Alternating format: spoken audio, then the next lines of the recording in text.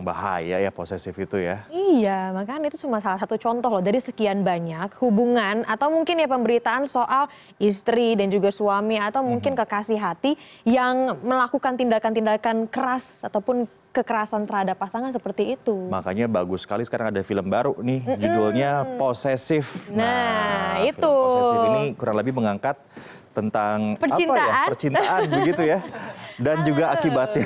Oh gitu, karena judulnya aja udah posesif kan, romance, suspense gitu ya Iya. disebut ya. Ada Adipati, ada Putri dan juga ada uh, Mbak betul. Tapi sebentar, kita akan coba bawa penonton untuk melihat dulu trailer dari film Posesif. Nih, kita lihat ya.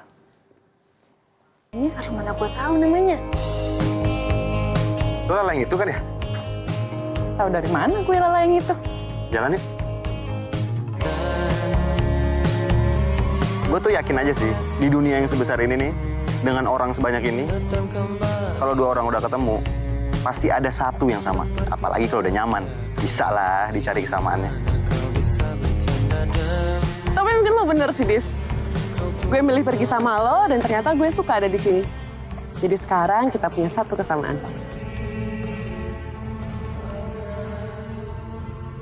Aku bisa selalu dengerin kamu lah. Karena...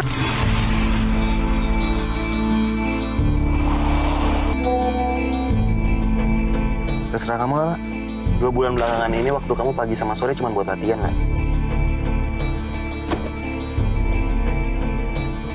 Kamu udah ninggalin ayah kamu dari lama. Ayah kamu gak pernah nganggap kamu ada lah. Ayah kamu cuma nganggap kamu lah. Please lah, please. Dis, aku bilang pergi-pergi! Kamu siapa ya? Oke, tadi itu tadi ya film Posesif yang akan juga tayang di bioskop di Indonesia ya kapan? Mulai tayangnya nanti? Sekarang 26. 26 November. Oktober. Oh, Oktober. Besok berarti. Besok dong ya? Iya, berarti tepat dong ya kita ngobrol-ngobrol soal ini ya. Selain ngomongin soal filmnya, nanti kita juga ngomong soal posesifnya. Iya. Itu yang digambarkan di film Tadi sih ini. semuanya janji akan cerita pernah dapat cerita posesif nggak nih masing-masing nih gitu. Kayaknya enggak deh. Oh enggak ya? Justru yang diposesifin loh. Nanti kita akan coba bahas setelah jeda pariwara berikut ini pemirsa. Tetap bersama kami di Good Morning.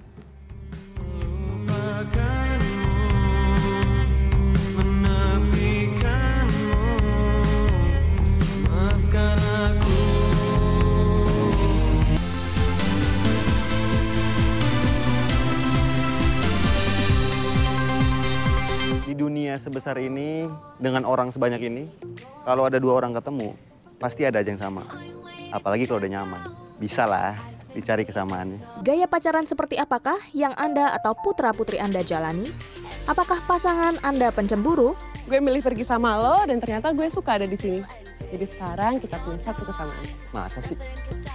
Eh, pernah sih waktu itu jadi mantan saya suka ngelarang-larang kalau misalnya eh, misalnya ada yang saya foto sama yang lain gitu suka dilarang terus abis itu kalau misalnya saya nganter misalnya searah gitu tapi kalau nganter suka dilarang juga gitu Jadi kayak aku mau pergi sama temen tuh ditanya detail banget sama siapa, pulang jam berapa kayak gitu. Terus eh, gimana ya kayak harus jaga jarak banget juga sama cowok buat foto aja tuh susah gitu lah.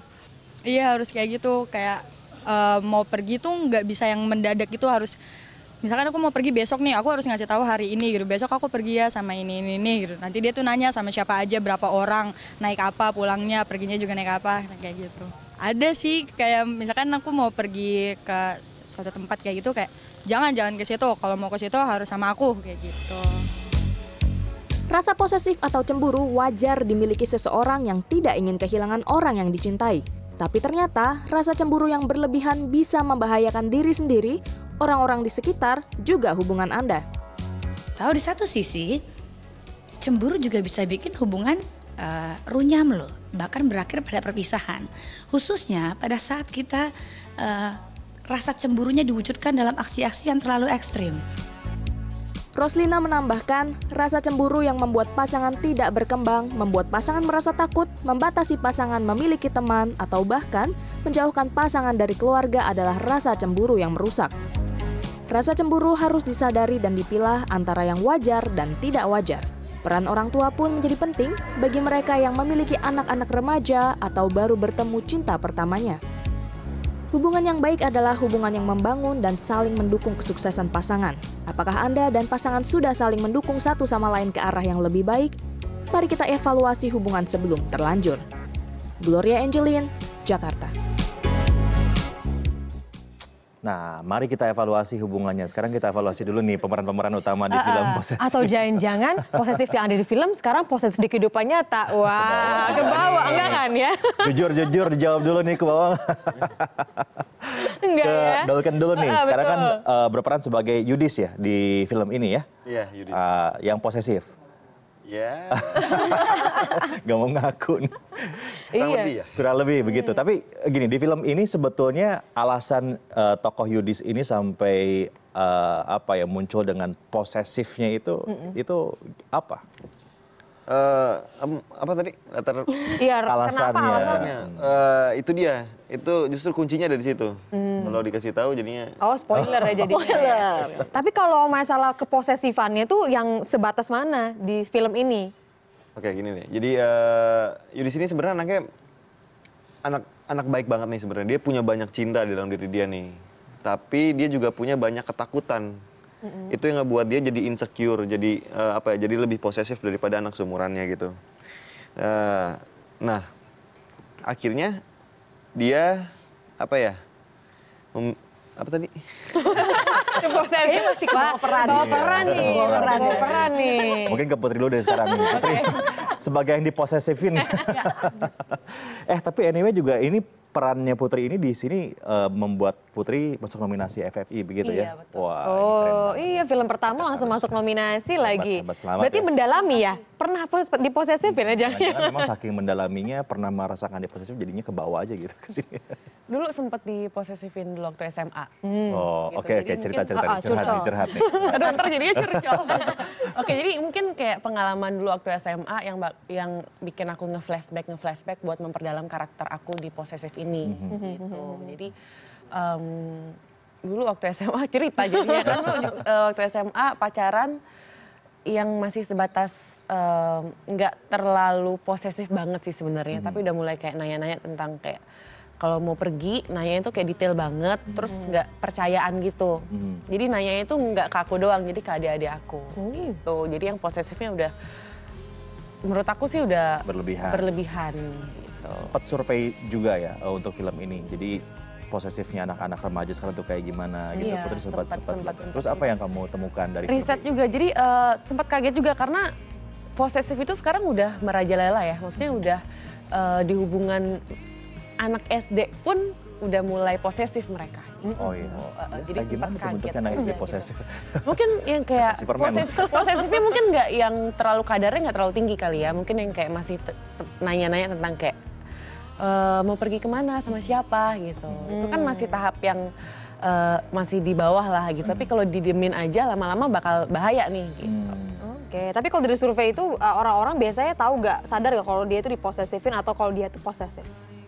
Kadang-kadang orang nggak sadar ya. Iya orang posesif biasanya dia nggak sadar. Ah. Dan biasanya emang mereka kadang-kadang nggak mau tahu juga gitu karena mereka kan merasa paling benar gitu kan. Nah di film ini tuh jadi intinya apa nih? Pesan yang ingin disampaikan di film ini lewat pesan posesif ini apa sih inti pesannya gitu? Iya kita kita pengen ngasih pesan sebenarnya kalau eh, posesif ini tuh bahaya loh gitu sebenarnya. Ini ini berawal dari cuman pengen tahu dari kepo-kepoan gitu dari eh, ya kita pengen tahu kamu lagi ngapain sama siapa gitu. Tapi lama-lama jadi menimbulkan rasa nggak respect sama pasangan gitu dan akhirnya nggak menghargai pasangan itu sendiri gitu. Dan akhirnya kalau udah mulai sampai eh, apa ya eh, abusive walaupun verbal tiba-tiba lama-lama bisa sampai ke fisik gitu dan itu bahaya. Itu sih kita pengen pengen nyampein kalau ini awareness yang emang harus diperhatiin gitu berarti. Dan di film ini juga nanti akan ada gitu hal-hal seperti itu yang akhirnya bikin kita aduh ini posesif apaan sih? Iya, gitu. heeh.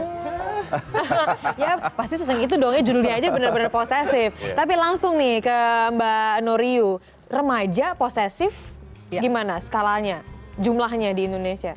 Oh, belum ada angkanya. Ah. Biasa kalau Indonesia kan ketinggalan kalau masalah. Nah, ya. Em, tapi jurnal yang terakhir saya baca itu adalah di Australia. Jadi em, sepertiga dari ini sampai pusat kriminalitas di Australia ya, pusat kajiannya. Sepertiga dari hubungan yang berlangsung baik hubungan romantis maupun hubungan yang intimacy begitu ya, eh, baik di kalangan remaja maupun dewasa itu sepertiga syarat dengan kandungan eh, abusive gitu ya. Jadi ada kandungan eh, apa kekerasan Kekerasan. lah di dalam hubungan itu. Dan ini eh, tendensinya juga begitu di negara-negara yang maju begitu Dan ya. apa apa apa dasarnya itu karena itu tadi rasa posesif itu gitu. Em, tadi menarik sebenarnya yang dikatakan oleh Dolken, bukan Dolken, Dolken ya, Nggak tahu saya. Eh, jadi a- ada banyak sekali sih teori sebenarnya, tapi yang eh, cukup relevan saya rasa adalah teorinya Karen Horney. Horney, gitu ya. Dia mengatakan bahwa em, manusia itu pada dasarnya mempunyai eh, kecemasan mendasar, begitu kecemasan mendasar yang mana itu eh, muncul akarnya karena dia merasa eh, tidak secure di dunia yang kejam ini dan lain sebagainya teori-teori itu. Tetapi akhirnya bisa berkembang menjadi tiga karakter pertahanan diri. Jadi moving towards others ini malah yang baik banget, menjilat banget dan lain sebagainya karena dia tidak mau dimusuhin. Ada yang moving against others. Moving against itu adalah yang perilakunya kekerasan dan ingin mendominasi orang lain. Nah, yang ketiga adalah moving away. Jadi dia menghindar. Menghindar dia tidak mau berkompetisi karena tidak kuat kompetisi, dia tidak mau terlibat dalam relationship karena dia tidak kuat uh, komitmen dan lain sebagainya. Nah, kebetulan Yudis karakternya masuk ke dalam yang moving against uh, others. Jadi ada banyak sekali teori, tapi salah satu kalau berangkat dari karakter dia tadi karena kecemasan, gelisah dan lain sebagainya, mungkin teori itu yang bisa masuk ya. Harusnya kalau di kehidupan nyata nih prakteknya Iya. setelah misalkan, aduh Prabu posesif banget sih sama saya, saya harus gimana nih? saya harus gimana nih? Eh, ini, ini menarik. Jadi memang ada eh, penelitian-penelitian terakhir itu, itu benar banget dan itu susah untuk keluar dari itu. Jadi sampai ada penelitian-penelitian terakhir itu judulnya TREAD. Jadi T R E A D. Jadi ad- eh, mendorong sebuah tendensi untuk resist atau melawan atau b- bahkan untuk mengakhiri pola-pola hubungan yang seperti itu. Karena biar bagaimanapun it takes two to tango. Harus dua orang gitu. Jadi ada eh, hubungan diadik antara dua orang dan ini sudah terjadi dan ada konsen dari pihak yang di, eh, eh, didominasi. Begitu. Jadi eh, akhirnya ini sampai penelitian itu mulai memasuki sekolah-sekolah. Gitu. Jadi sekolah-sekolah di Australia itu mulai dilakukan sebuah penelitian, sebuah research apakah ada tendensi eh, terbentuk pola hubungan em, seperti itu. Dan ini tidak gampang. Tapi usia remaja, usianya pas kelas 3 SMA ya ceritanya. Pada usia remaja itu adalah eh, fase yang justru sensitif karena mereka memang sedang mencari identitas diri, mereka sedang bingung dengan peran dan mereka sudah mulai eh, tertambat terhadap eh, yang namanya cinta maupun cinta monyet maupun cinta yang lain begitu. Nah, akhirnya di dalam fase ini adalah fase yang paling tepat untuk mengedukasi mereka tentang pentingnya eh, mencegah pola-pola hubungan yang semacam ini. Tapi bukan abusernya, iya, tetapi eh, pihak yang akan eh, potensi eh, di abuse begitu dan Korban, tidak korban. ya ya ya dan dan ini kendala belum tentu mereka akan masuk dalam hubungan abusive. Kalau mencegah kan kita tidak tahu sebenarnya. Ya. begitu apakah dia akan masuk atau tidak. Begitu. Putri, kenapa remaja ini harus nonton film posesif nih? Jadi apa yang ditawarkan buat film ini buat para penonton? Eh, film posesif. Dia filmnya kompleks karena nggak cuma ngangkat tentang hubungan eh, antara pacar aja tapi keluarga diangkat persahabatan diangkat eh, tentang mimpi ambisi terhadap mimpi juga diangkat. Jadi eh, kita di sini eh, eh, tentang atlet. Aku kan atlet loncat indah di sini gitu. jadi kayak ambisi aku Lala eh, buat ngejar mimpinya dia. Eh, hubungannya Lala Yudis dengan keluarganya kita masing-masing hubungan kita berdua itu emang bener-bener diangkat banget gitu di sini. Jadi benar-benar cerita SMA yang intinya tuh sangat intens gitu. Oh, Jadi- problematika zaman sekarang banget sih harusnya Mm-mm, ya. bener, Kehidupan bener. nyata ya. Bener. Jadi aku berharap banget sih eh, orang-orang yang bakal nonton film ini bakal eh, dapat pembelajaran aja kalau posesif itu sebenarnya nggak baik sama sekali gitu. Dan mencintai tanpa menghormati pasangan kita itu emang nggak baik. Gitu Daniar, jangan posesif Oh, makanya. ya udah Saling mengingatkan. aja oh sama ya. waduh gawat Udah punya putri. Dolkannya mau nggak itu tuh Aduh, pertanyaan? iya, ya udah deh, oke. Tapi kalau misalnya kita bicara soal filmnya, film yang bergenre romance suspense karya perdana pelaris film ini menceritakan tentang kisah percintaan posesif dan berbahaya yang mengancam hubungan asmara sepasang anak muda. Nah, selain di Barus, ada beberapa band independen berkualitas juga turut dilibatkan. Salah satunya adalah band asal Jogja, Sheila on Seven. Jalan yuk. Gue tuh yakin aja sih, di dunia yang sebesar ini nih. Untuk pemilihan musik, ini, pilihan lagu-lagu yang dekat dengan orang anak muda ketemu, saat ini menjadi pilihan untuk soundtrack film ini. Meskipun nyaman, merupakan lagu lawas, judulnya Dan ya dari Silo on Seven menjadi salah satu lagu yang menjadi soundtrack dari film yang dibintangi Adipati Dolken dan Putri Marino ini. Dan dirilis pada tahun 1999 dan dari lagu ini Sheila on Seven mendapat beberapa penghargaan dari Panasonic Global Awards dan juga Emmy Award.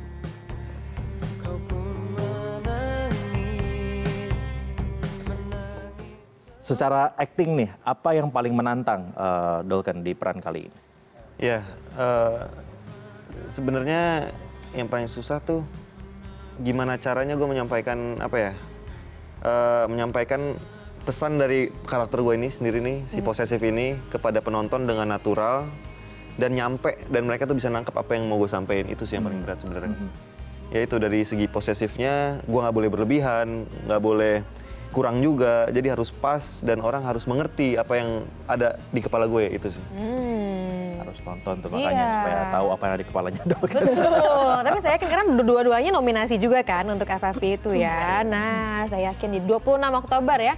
26 besok ya. Besok.